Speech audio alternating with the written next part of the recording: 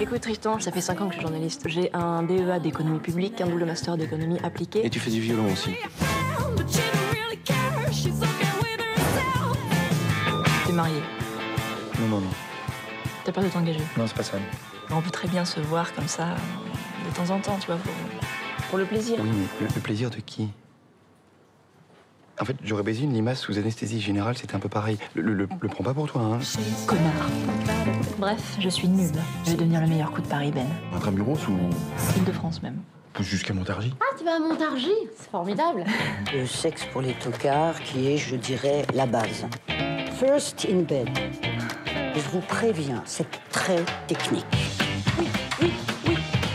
Le sexe en période de crise. Tristan, c'est toi qui prends le dossier. Tu as récupéré le numéro d'une escordiole. Bonjour, vous êtes Agathe Excuse-moi, c'est un nom, c'est mon client.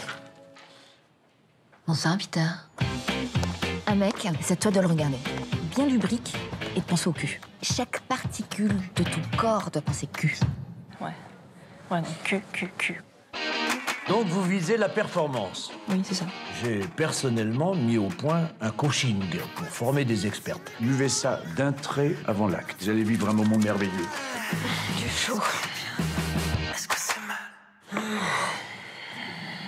C'est. De toute façon, on s'en fout, c'est pas nous qui rédigeons les textes.